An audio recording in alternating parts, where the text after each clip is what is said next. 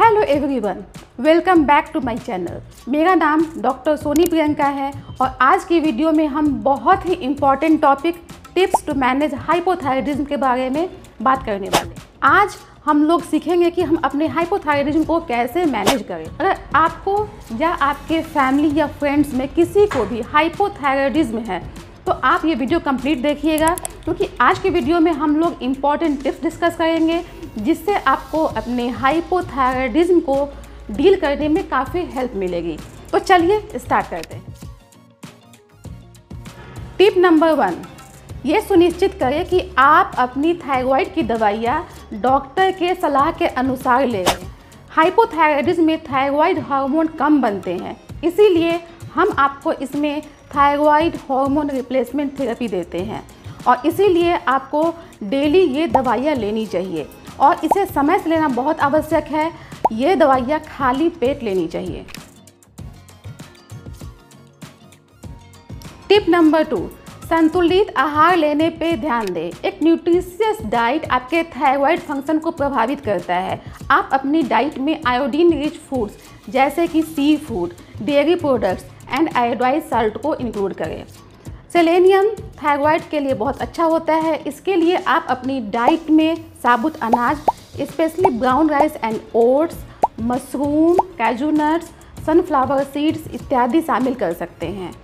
साथ ही आपको ये ध्यान रखना है कि आपकी फ़ूड की कैलोरी ज़्यादा नहीं हो। आप हाई कैलोरी फ़ूड लेने से बचें, क्योंकि इससे आपका वज़न जल्दी बढ़ सकता है।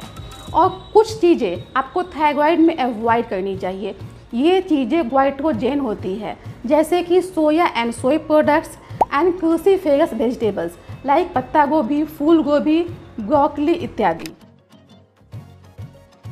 टिप नंबर थ्री नियमित रूप से व्यायाम करें और फिजिकली एक्टिव रहें। इससे आपको वेट मैनेजमेंट में काफ़ी हेल्प मिलेगी। साथ ही आपका मेटाबॉलिज्म भी इम्प्रूव होगा। आपको डेली कम से कम 30 मिनट एक्सरसाइज करना चाहिए। अगर आप एक्सरसाइज नहीं कर पाते हैं तो कोई भी फ़िज़िकल एक्टिविटी जैसे कि डांसिंग स्विमिंग वॉकिंग आप कर सकते हैं। आप योगा भी कर सकते हैं। अगर आप डेली नहीं कर पाते वीक में एट लीस्ट फाइव डेज़ करें। टिप नंबर फोर आप स्ट्रेस मैनेज करना सीखें। तनाव में हाइपोथायरिज्म के सिम्टम बढ़ जाते हैं। ये आपके थायराइड हार्मोन के फ़ंक्शन को भी प्रभावित करता है। इसलिए आपको स्ट्रेस मैनेजमेंट टेक्निक सीखनी चाहिए, जैसे कि डीप ब्रीथिंग आप किसी हॉबीज़ में अपने को इंगेज कर सकते हैं। आप थोड़ा समय निकालिए खुद के लिए रिलैक्स कीजिए, इससे आप अच्छा महसूस करेंगे। और स्ट्रेस मैनेज के लिए मैंने अलग से एक वीडियो बनाई है, आप उसे भी देख सकते हैं how to manage your stress इसका लिंक मैंने डिस्क्रिप्शन में दे दिया है। टिप नंबर फाइव आप सुनिश्चित करें कि आप पर्याप्त नींद ले रहे हैं। अच्छी नींद आपके स्वास्थ्य के लिए बहुत महत्वपूर्ण है। ये आपको थायराइड हार्मोन को रेगुलेट करने में भी हेल्प करती है। आप प्रतिदिन सात से आठ घंटे की नींद लें और सोने से एक घंटा पहले स्क्रीन देखना बंद कर दें। 10 से 11 बजे के बीच में सोने चले जाए। इससे आप अच्छा महसूस करेंगे और आपका थायराइड फ़ंक्शन भी इम्प्रूव होगा।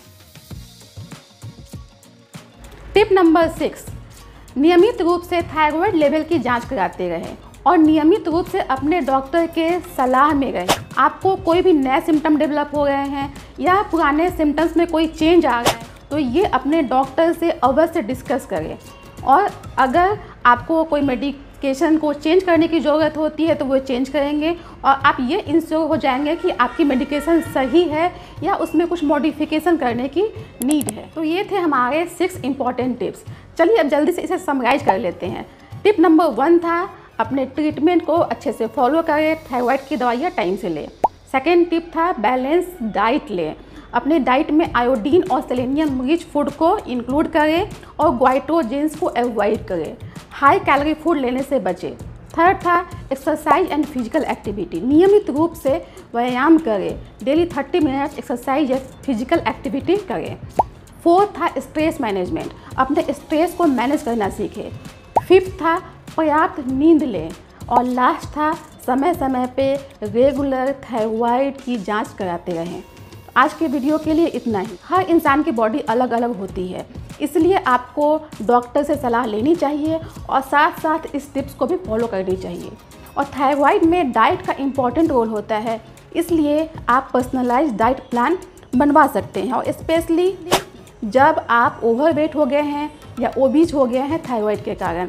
थायराइड में वेट लॉस पॉसिबल है। इसके लिए आप हमारी website now my health dot com पर विज़िट कर सकते हैं। और मुझे कांटेक्ट कर सकते हैं। इसका लिंक मैंने डिस्क्रिप्शन में दे दिया है। अगर आपको ये वीडियो इन्फॉर्मेटिव लगी है तो इसे लाइक और शेयर करें और ऐसी ही स्वास्थ्य संबंधी जानकारी के लिए मेरे चैनल को सब्सक्राइब कर लें। Till then be healthy and be happy